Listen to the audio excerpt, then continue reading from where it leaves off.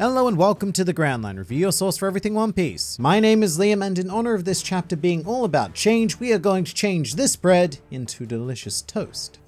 Because chapter 1031 is a glorious monster installment, the out of context summary for which is as follows. Identity crisis. The raid on Onigashima has now escalated from physical to psychological warfare. Sanji doesn't know who he is, Yamato doesn't know whose side anyone is on, and Big Mom has elected to abandon her previous designation of Big in favor of evolving into a Mega Mama and or Giga Granny. Either is acceptable. As is subscribing to the Grand Line Review, which will result in consistent injections of One Piece culture administered directly into your YouTube feed feed, something that was achieved by Miranda Malone, Mr. Cheeseburger, and Nerdtus. And if you want to be our next subscriber of the day, then hit the button and please do say hi in the comments below if you are a new or existing member of the Grand Fleet. Welcome. But this chapter really was all about change. There was a really nice through line in 1031 regarding various forms of identity. For example, in Big Mom's case, she changed physically. In Apoo and Drake's cases, we explored their changing allegiances, and then the delicious cake of change was topped with Sanji changing his very inner being. Starting with the kid-in-law situation, though, this chapter proved that what they were saying last week was, well, was quite the hyperbole. Because sure, they're tired and stuff, but they are still up and running, so you know what I say? Quit your whining about awakening and just, just get on with it. Sadly, we don't have any new information regarding either awakening itself or even their individual incarnations. Kid is quite secretive about that. But really, doesn't matter because this section is all about Big Mom. Wait, did she just Gecko Moria herself? Giga Granny has done the very classic thing that villains do, which is embiggen themselves into some sort of final boss form, or at least a second stage form. Although the way in which she did it was quite fascinating. She sacrificed an entire year of her own personal lifespan to achieve this, assumedly temporary power, which is pretty cool because it shows that she sees Kid and Law as a genuine threat, one worth the investment of life to overcome. It was definitely a bit like uh, auto-cannibalistic though. I suppose consuming yourself for power is fairly balanced though. I mean, Luffy very much does the same thing when he uses gears, and Law does it when he creates one too many rooms, so it's nice to see another Devil Fruit user pushed into that realm. It's also just nice in general to see Big Mom use her soul powers again. Like, if you can manipulate people's souls, why, why aren't we doing this more? And on a subtle level, I suppose this shows that neither Kid nor Law are afraid of Giga Granny. They actually seem more frustrated than anything. However, both of them have well and truly affirmed that they are here to bring our Mega Mama down. Law for the sake of truth, and Kid for the sake of, of uh,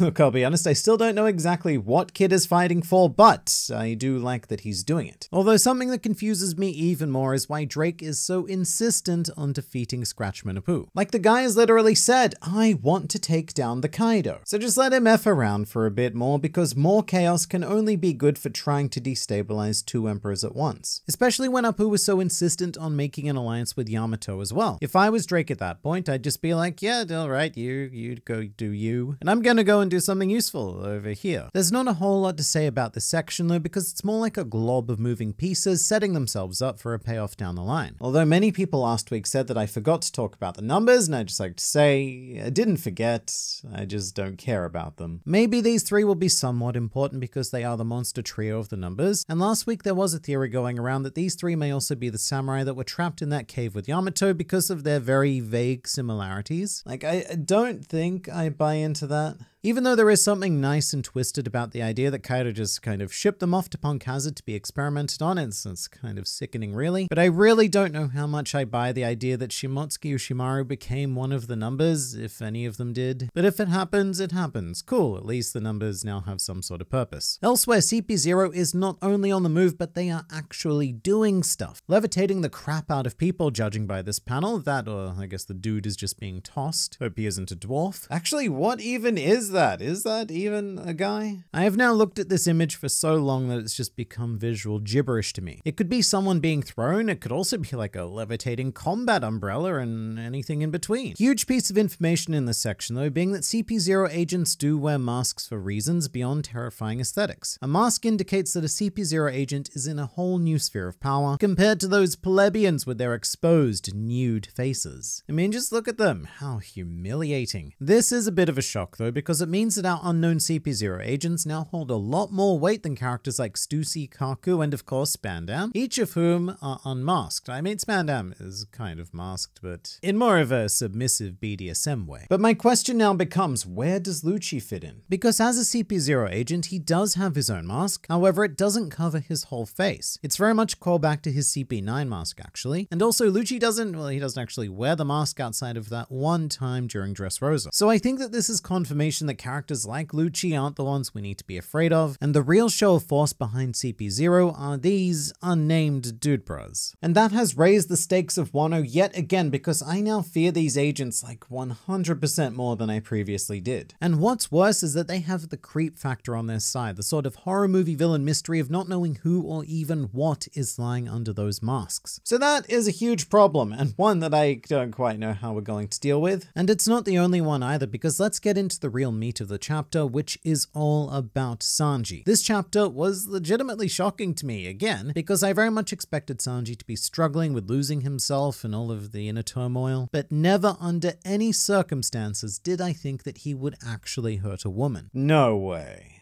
This is a genuine first for One Piece. I didn't think that we'd see anything like this from Sanji in the series, and it really does add some pretty extreme weight to the situation at hand. Because I spend way too much time on the internet, I was subject to a lot of people complaining about Sanji running away. Stupid character, Oda, bad writer, blah, blah, blah, like you know how it goes. But this is why he was running, because it's not just some sort of flat grand power up. Whatever was unlocked within him has put us in a legitimate situation that could lead to the death of Sanji as we know him. And when I say legitimate, I mean, like, look, he's gonna be fine because it's One Piece, but the drama is definitely there. I actually feel this scenario far more intensely than I was affected by the fake death scenes of Kinemon, Kiku, and Kanjuro, and I think that's because I'm very desensitized to physical death in One Piece. However, this situation is more about threatening the death of self, which sounds ultra wanky, and yes, uh, it kind of is, but in many ways it is so, so much worse than the simple death of the body. I feel like, like at the very least, I would rather die than be taken over by something that's that isn't me. Wow, this chapter review is uh, it's morbid as crap, but in a super twisted way. I love it. I really like how Oda has handled Sanji during the raid, which uh, might be a slightly controversial thing to say, but it is really paying off right now. And the best part is that Sanji's ultimate decision was made by him considering which version of him would be more useful to Luffy. There's really not much more you can ask for, and I don't think that any Straw Hat is going to have a more in-depth investigation during this arc. I mean, maybe Zoro, but at the same time, there's very little depth to be had with him. Zoro, rather ironically, is just so sure about his general direction, and he has never questioned his path in life. So I feel like you can't really explore problems like this with a character like him, because those problems always have very simple solutions. You just cut it with a sword and uh, hooray, we're all good. Speaking of the Z-Man though, I definitely need to highlight his conversation with Sanji, which took place conveniently via telepathic snail mid-battle. It's one of those things that really pushes the limits of believability because not only did Sanji sneak a Denden Mushi into Zoro, which hasn't fallen out while he's been tossed around all over the island, but also that the two of them can have a lovely casual catch-up whilst facing the second and third in command of the Beast Pirates. I mean, whatever, it's fine. It is worth it for this conversation. The Zoro-Sanji dynamic during the raid has been flawless, and I think it says a lot that of all people, Sanji would choose Zoro to end his life in the worst case scenario. It shows an incredible degree of not only trust in Zoro, but the sheer respect for his abilities. And then that goes on to get flipped around by Zoro as he encourages Sanji, which sounds so simple and unexciting, but then you remember that this, well, this is Zoro. Zoro doesn't tend to encourage anybody, much less Sanji. So it's almost like reading a sports manga where two rivals on the same team have managed to overcome their differences for the sake of overall victory. I mean, to be fair, it's taken them, what, 24 years to get to this spot where we are now, but uh, we're here. What I do know is that King and Queen are both going down imminently. Potentially before the end of the year, I think that they'll both be tasting a delicious dirt banquet via being smacked into the ground. Sanji is going to power up and destroy Queen, while Zoro has mere minutes to dispatch King before his miracle drugs wear off. So it's very much a do the thing or don't do the thing kind of situation, and I think that they are going to do the thing. The really interesting thing though is that the inevitable defeat of King and Queen seems unlikely to be the end of the Zoro-Sanji involvement, particularly Sanji because he now finds himself in a sort of chopper style situation of becoming a monster, and he will potentially need an another crew member to break him out of that. Or at least knock him out like Franky did with Chopper on Enies Lobby. And to be honest, as much as Zoro was entrusted with dealing with Sanji, I almost feel like the role is better suited to someone else. By which I mean perhaps a Nami or a Robin. It would be really interesting if Science Monster Sanji came face to face with say Nami, and she had to find a way to break through to him. But it also makes sense for Robin to be that person, because the Onigashima raid has had this little subplot of focusing on the trust between Robin and Sanji. But I might be speaking too early. Sanji might be able to find his way out of this on his own. It just looks very unlikely right now. A very, very subtle aspect of 1031 is all about eyebrows though. Weirdly and appropriately enough, with Sanji's Germa augmentations, his eyebrows have now inverted to match those of his siblings, which is a nice touch and I guess this is how we designate evil science Sanji now. And one more Sanji thing I absolutely need to flag is the very end of the chapter, where he begins his assault on Queen with Hell's Memories. Hell's Memories, oh, that could not be more perfect. Hell's Memories was originally used as a very comical attack to defeat Wadatsumi on Fishman Island. Sanji basically channeled all of his negative experiences with the Okama into this grand attack, and it was pretty much just one big joke. However, here on Wano, it is hard hitting as crap, because now the memories that Sanji is referring to are those of his childhood in the Germa Kingdom, a much less comical and far more real version of Hell. And if that's not enough, we also need to turn the Wankatron up a level, because the irony of using this attack is that Sanji is embracing his science monster form, which appears to put him in a state where he loses his memories of himself. So with Hell's memories right now, Sanji is letting go of both the good and the bad. So this attack, as like as satisfying as it is, feels really bittersweet. And the wank certainly does not stop there actually, because there's some very key symbolism in the chapter with Sanji destroying the raid suit, but also being willing to let go of himself. In this chapter, he is discarding both the Vinsmoke and the Straw Hat sides of himself to become something new and well, potentially terrifying because we don't know which direction this is going to go. We don't know what he's going to be capable of, but what I do know is that this has me 100% hooked. Sanji versus Queen has become the most fascinating fight on Onigashima thus far, and we're going to have an answer one way or the other very, very shortly. And of course, no chapter of Sanji is complete without a glorious color spread worshipping Zoro. Pretty incredible timing to showcase Zoro here, but I love, love, love this color spread. By Oda standards, it's pretty ridiculously simple. It's not a convoluted Where's Wally style scene of the Straw Hats and like a gazillion animals. It's just straight up characters and rectangles. And I think the reason why I like it so much is because of the even simpler idea behind it, which is to show off the second in commands of the world. The characters who often get overlooked or just get stuck in the various shadows of their various captains. And it's just such a treat to see all of these characters in one spread who we would never see together in any other context. Although this spread does seem to have confirmed that Shiryu is the, the sort of vice captain of the Blackbeard Pirates, which is something that we have suspected for quite some time because he was confirmed to be the captain of the second ship in the fleet. But it was impossible to tell if those ship numbers held the same sort of relevance as they did for say the Whitebeard Pirates, but now it is confirmed. And I also feel like this is a very clear sign that Shiryu is being set up as an opponent for Zoro. If it wasn't clear enough already, that is, with the whole sword wielding stuff. Or maybe even Zoro and Sanji. Because Shiryu does have the pervert fruit that Sanji so coveted, plus Sanji's whole Germa gimmick is invisibility as well. So perhaps in the future struggle against Blackbeard, we will end up with a true team up. Sanji and Zoro versus Shiryu. Either way, you know what? It sucks to be Jesus Burgess, who has traditionally been viewed as the vice captain role. But I guess you just weren't strong enough, you goofy paper bag wearing weirdo. But I happen to know that you are strong enough to watch this next video because there's always more to learn, explore, and experience in this wonderful series, so I look forward to seeing you there.